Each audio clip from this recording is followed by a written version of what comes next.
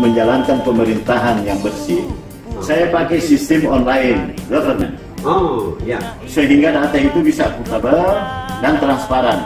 Ya. Jadi semua informasi pemerintahan dapat diakses oleh seluruh warga melalui situs pemerintahan Kota Makassar. Nah, masyarakat bisa melihat dan mengontrol anggaran pemerintah.